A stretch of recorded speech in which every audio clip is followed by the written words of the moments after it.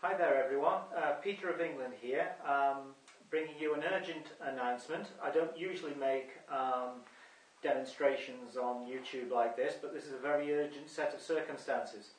Um, for all of you who follow me, you'll know that we actively try and support those people uh, who are being, uh, should we say, having their human rights uh, or their financial rights violated by the banking cartels and the control mechanisms within the United Kingdom. Um, and at the moment, there is one such incredible case going on in the UK near Durham in England. Um, please, for all of those who can type into their uh, search engine, Rainbow Arc Sanctuary. That's Rainbow and Arc, A R C, Sanctuary. Uh, and look at what's happening to a animal sanctuary there um, that is run by a lady called Paula Campbell.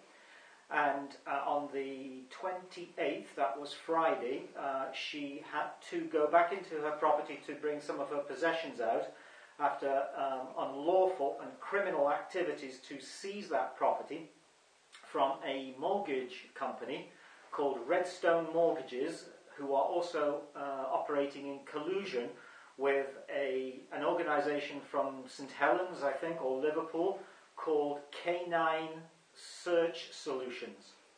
Um, so the problem at the moment is that we want everyone who can help or bring any publicity to this matter to aid Paula Campbell, who, as of Friday afternoon, has barricaded herself uh, into her property. Um, and she's been there since Friday, I think, Friday afternoon. Uh, she spoke to me just as they were trying to maybe kick the door in on her. And the situation uh, a few moments ago, and this is Sunday evening now, UK time will be around about 6.30. As of Sunday evening, 6.30, um, she has not been allowed any food or water. Um, the police are saying she can leave at any time, but it seems that Redstone and this K9 uh, Gestapo Stalinist organization have cut off the electricity and they've cut off the water and are not allowing any food to be delivered to the property. Now, the problem with this, regardless of what your, um, should I say, general perspectives uh, on the right to go back into a property once it's been unlawfully taken from you, um, are the fact of the matter is, under the Universal Declaration of Human Rights and also the European Convention of Human Rights, and also under Article 11 please have a look at something called the International Covenant on Economic and Social Cultural Rights.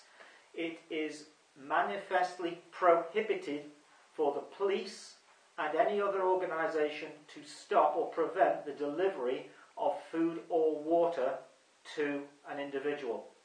So that's what they're doing at the moment. This goes back almost to should we say, the Middle Ages, where people were starved out of, uh, out of their, their castles. And for this to be going on in the United Kingdom uh, in this day and age, uh, I think is an atrocity. So I'm asking everybody who can, please do whatever you can to phone or contact your local uh, newspaper, or please try and find out how to con- contact Paula Campbell, Rainbow Arc Sanctuary, and that's in County Durham. Um, and so I'll bring you updates as this goes on. I'm keeping this short and sweet, but this is just to let people know what we're fighting for, and we all need each other's help, or continuously they will pick us off one at a time as they seem to successfully think they can do now. So don't forget to subscribe. Peter of England signing off. Thank you.